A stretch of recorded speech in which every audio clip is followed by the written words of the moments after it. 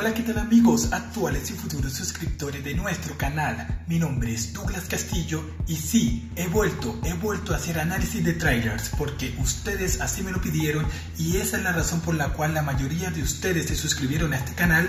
Después de casi un año sin hacerlo, he vuelto hoy con un análisis y esta vez con el análisis del trailer de Avengers Infinity War. Un trailer que me dejó re hypeado, que me dejó con muchas ganas de hablar mucho más y sí que merece este tráiler que se le haga un análisis. Así que sin más preámbulos, comencemos.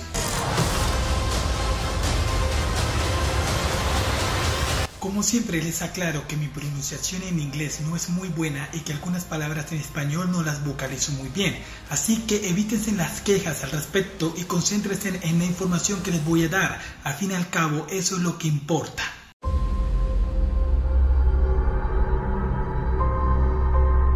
Lo primero que vemos en el tráiler es a la ciudad de New York y en el cielo alcanzamos a ver lo que es la nave que vimos en el primer tráiler acercándose por primera vez a la Tierra. Recordemos que en el tráiler 1 Peter Parker detectó la nave cuando estaba en el autobús escolar. Pues bien, en este segundo tráiler vemos escenas de cómo él salió del autobús y cómo él se lanzó hacia la nave. Recordemos que en el tráiler del Super Bowl vimos a Peter Parker montado en dicha nave y dicha nave estaba saliendo de la atmósfera y él tenía el traje antiguo, el primer traje que le dio eh, Tony Stark.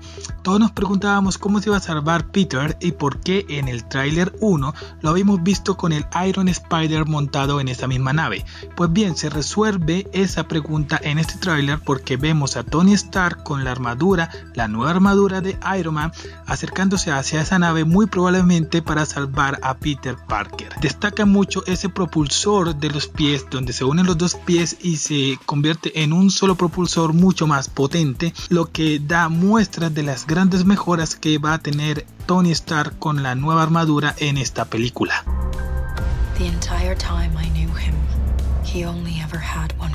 En la siguiente escena vemos a Bruce Banner, la Viuda Negra y War Machine. Los tres se encuentran mirando al cielo, pero no necesariamente están mirando la misma nave en la que se encuentra Peter Parker. Ellos se encuentran en Wakanda y sabrá Dios qué es lo que están mirando en esa escena específica. Lo digo porque Bruce Banner tiene el mismo atuendo que lucía cuando recién estaban llegando a Wakanda, así que no ha pasado mucho desde cuando llegaron a Wakanda en esta escena a esta escena en la que están mirando hacia arriba. He gets all the Infinity Stones, he can do it with the snap of his fingers. Just like that. La que habla en estas primeras escenas del tráiler es Gamora, hija adoptiva de Thanos, ella nos cuenta que desde que lo conoció su única intención ha sido destruir la mitad del universo y que si consigue las seis gemas del infinito podría hacerlo con solo chasquear los dedos. Esto podría tomarse como una exageración, pero la verdad es que no es así. En los cómics vimos exactamente lo mismo. El titán loco con solo un chasquido de dedos destruyó galaxias enteras. ¿Será que veremos esto en la película? Muy probablemente si lo llegamos a ver no sea en esta sino en la segunda parte, pero ¿será que Marvel será tan arriesgado de mostrarnos esta apocalíptica destrucción en la película? Déjelo en los comentarios. Thanos. Este juego de escenas y de palabras está diseñado para hacernos creer que Gamora está hablando con Tony Stark, pero la verdad es que no es así. Gamora se encuentra en un lugar muy diferente, se encuentra como dentro de una nave, mientras que Tony Stark pareciera estar en una casa. Muy probablemente sea el santuario del Doctor Strange, pero no es con él el que está hablando, sino con Bruce Banner a juzgar por esta escena que vimos en el Super Bowl. ¿Por qué Bruce Banner tiene la información de Thanos y por qué Tony Stark le pregunta a él sobre estas cosas? Pues bien, recordemos que Bruce Banner se encontraba en la nave que fue interceptada por Thanos y por alguna razón un enfrentamiento entre Hulk y Thanos, que ya fue confirmado por el mismo actor, lleva consigo como consecuencia que Hulk termine cayendo en la Tierra con toda la información y es Bruce Banner el que da la primera información a Tony Stark y a gran parte de los Vengadores sobre el peligro que se avecina. Y aquí vemos a Thanos con su armadura, algo que le habían criticado mucho en el primer tráiler. Por el fondo podemos saber que se encuentra en la nave donde se encontraban los Asgardianos. Esto lo podemos deducir porque en el guantelete solamente se ve la gema del poder, así que es evidente que está allí por la gema del espacio.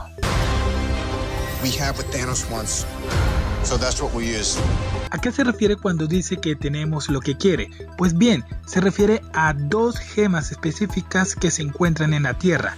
La gema del tiempo que está en el ojo de Agamotto y la gema de la mente que está en la frente de Vision. La gran pregunta es por qué Doctor Strange está accionando, está utilizando el ojo de Agamotto en esta escena.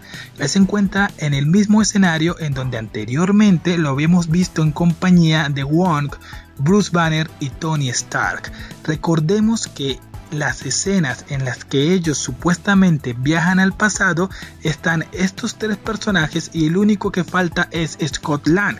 Así que tal vez esta escena donde están los cuatro, ellos están viendo entrar a Atman, Scott Lang en el escenario y luego se van los cuatro y Doctor Strange se queda accionando la gema del tiempo para trasladarlos al pasado y advertir de lo que vendrá en el futuro a los Vengadores del pasado. ¿Qué opinan de esta teoría? ¿Será que esta escena confirma que ellos van a viajar al pasado y que será a través del ojo de Agamotto que lo van a poder lograr? Déjelo todo en los comentarios.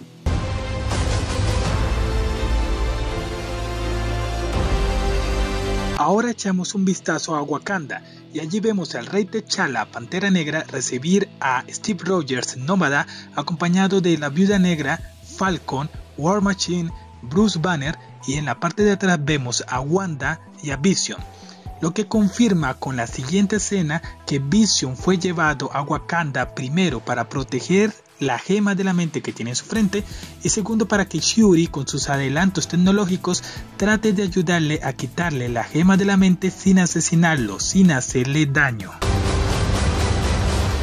Luego vemos a Peter Quill, Gamora, Drath y Mantis descender de la nave, pero, ¿a dónde están llegando? Esta nave que vemos acá se parece mucho a las naves de nivel industrial que vimos en Guardianes de la Galaxia Volumen 1, cuando ellos fueron a visitar al coleccionista para que le comprara la gema del poder. Así que muy probablemente ellos se encuentren en Nowhere o tal vez en un lugar parecido en donde el coleccionista tiene otra colección. Recordemos que estos mismos personajes los vimos en la escena filtrada en donde se vio a Thanos torturar al coleccionista preguntándole por la gema de la realidad. Así que muy probablemente esta escena sea la escena previa a esa escena filtrada que vimos anteriormente. Díganme, ¿ustedes qué opinan de esta teoría? Let's talk about this plan of yours. I think it's good, except it sucks. So let me do the plan, and that way it might be really good. ¿Y qué decir de esta escena? Es simplemente ver a Peter Quill siendo Peter Quill. Obviamente se lo está diciendo a Drax, porque no creo que se atreva a hacer un comentario de esos para Tony Stark.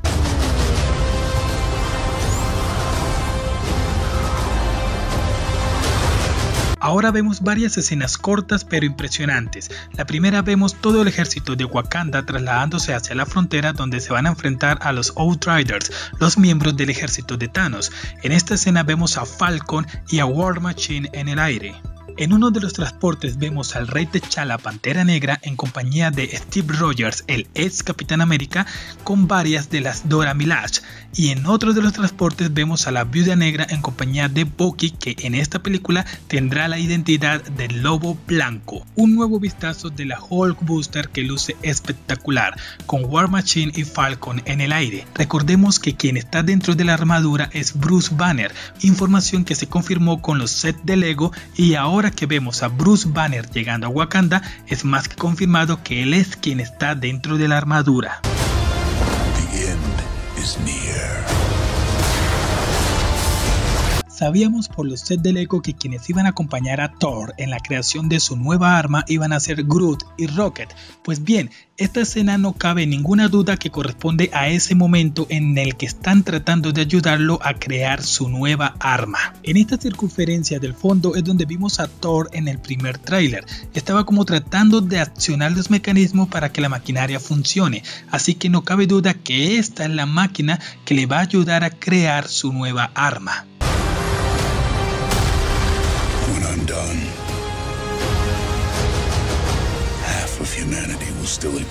Esta secuencia corresponde al momento en que Thanos invade el planeta natal de Gamora. Aquí vemos a la pequeña Gamora siendo adoptada por Thanos.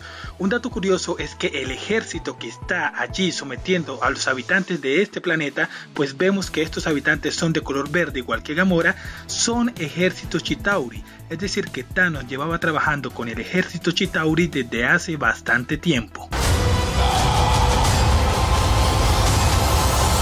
Bueno, y es hora de unir escenas y atar clavos. Yo creo que ya es un hecho que todos estos cuerpos en el suelo son asgardianos muertos por Thanos cuando llegó a la nave a interceptarla en búsqueda del Tesseractor. Pues bien, obviamente ellos opusieron cierta resistencia y eso conllevó a toda la destrucción que vemos a su alrededor.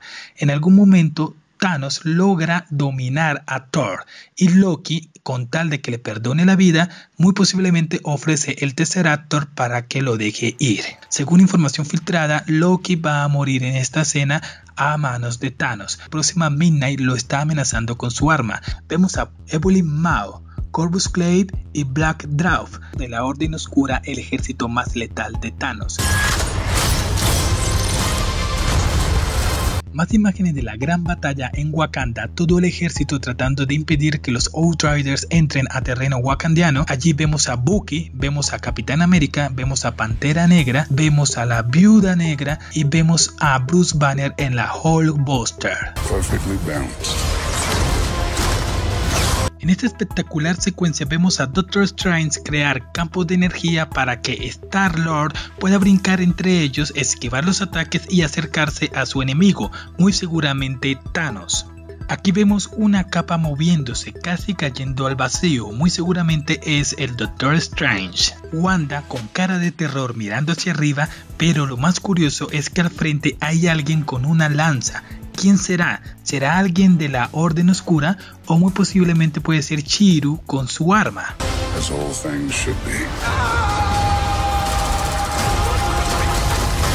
Aquí vemos a Ebony Maw enfrentándose al Doctor Strange en el Sanctum Sanctorum.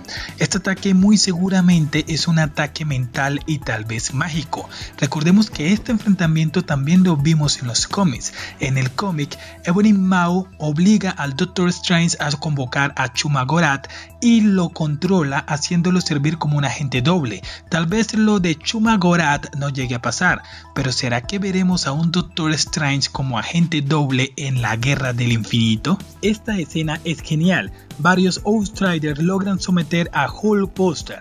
Recordemos que dentro de Hulkbuster se encuentra Bruce Banner, así que muy seguramente cuando se vea perdido va a tener que transformarse en Hulk y el otro tipo va a ser el que tome el control. Recordemos que en el primer tráiler ya vimos a Hulk Hulk en el equipo de los Vengadores en la batalla de Wakanda, así que esta transformación va a tener que pasar tarde o temprano y muy seguramente va a suceder después de esta escena.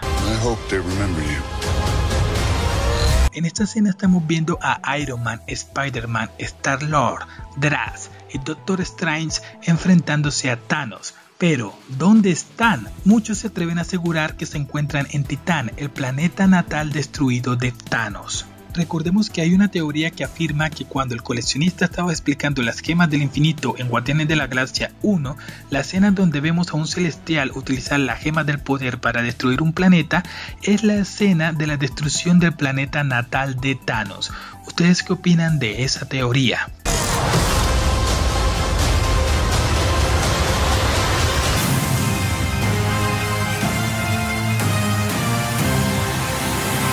Y esta es la escena más hypeante de la película, ver a Steve Rogers deteniendo el brazo de Thanos con guatalete del infinito y todo. ¿Cómo es posible que el Capitán América tenga la fuerza suficiente para detener a Thanos cuando ya lo hemos visto hacerle esto a Iron Man y esto a Spider-Man y ellos no pudieron hacer nada al respecto?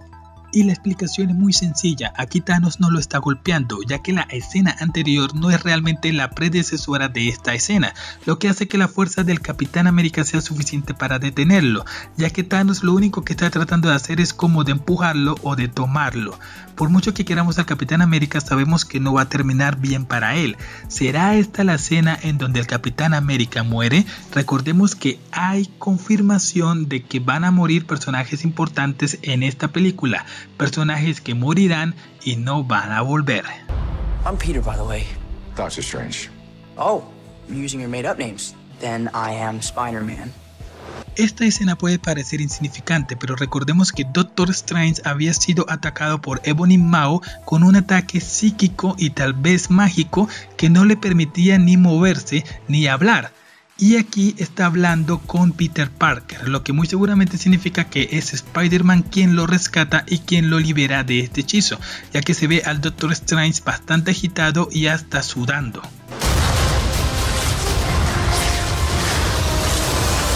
Bueno muchachos y esto fue todo, ¿cómo les pareció? Quiero que dejen todo en los comentarios, quiero que me digan qué teorías de las que yo dije no habías escuchado, qué teorías ya habías escuchado, cuáles les parecen descabelladas, cuáles les parecen ciertas, qué cosas no habías escuchado en ningún otro análisis, qué cosas sí habías escuchado, déjalo todo en los comentarios. Muchas gracias por reproducir el video completo, mi nombre es Douglas Castillo y nos vemos y nos leemos en una próxima ocasión.